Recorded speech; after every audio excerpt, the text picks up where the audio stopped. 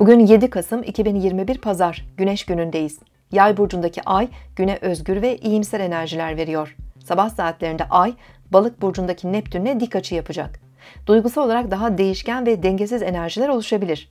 Fiziksel ve ruhsal hassasiyetimiz artabilir. Uyku ihtiyacımızın da artacağı sabah saatlerinde zihnimizi herhangi bir konuya odaklamada zorlanabiliriz. Yaratıcı ve sanatsal enerjilerle hayaller kurabiliriz.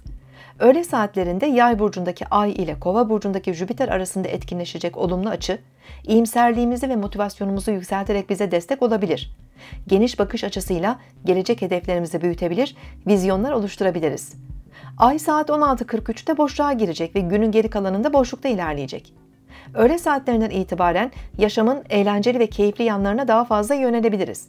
Bireysel özgürlükler de öne çıkarken yeni deneyimlere heyecan ve cesaretle yaklaşabiliriz. Gezi ve seyahatler, açık havada zaman geçirmek, spor yapmak için de uygun bir gündeyiz. Akşam saatlerinde arkadaşlarımız ve sosyal ilişkilerimiz öne çıkarken özellikle kadın figürlerden daha fazla destek alabiliriz. Ekip çalışmaları, organizasyonlar, sosyal ve sanatsal her türlü etkinlik daha keyifli ve verimli ilerleyebilir. Siz de şimdi kanalımıza abone olun, yorumlar bölümüne sorularınızı yazın, sürprizlerimizden haberdar olun.